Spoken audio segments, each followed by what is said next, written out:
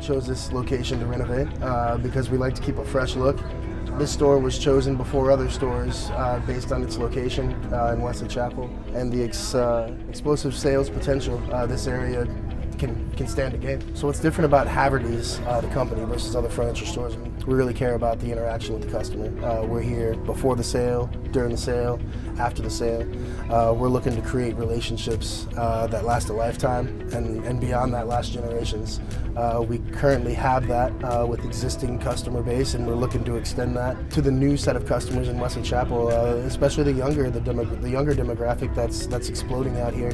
Um, Havertys has a great legacy of 135 years in business um, and, and, and supplying generations worth of families uh, their furniture and, and, we look to expand that um, to the younger generations that have never heard of us and, and maybe, maybe some transplants from other areas that are unfamiliar with the Southeast brand of Havertys.